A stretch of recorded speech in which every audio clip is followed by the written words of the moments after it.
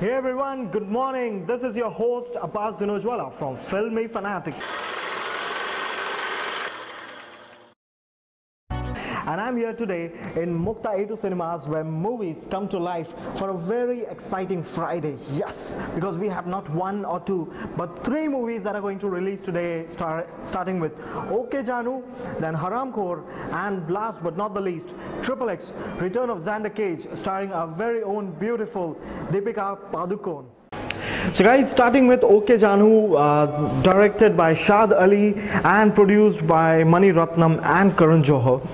So this is one movie that doesn't bring anything new on the table, uh, like you know the storylines, the twists that we have already seen, the performances that we have already seen.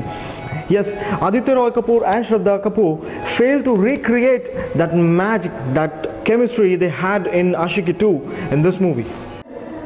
Well, the film is an official remake of the Tamilian movie O Kadhal Kanmani, starring Dulquer Salmaan and Nitya Menon, which was directed by none other than Mani Ratnam himself.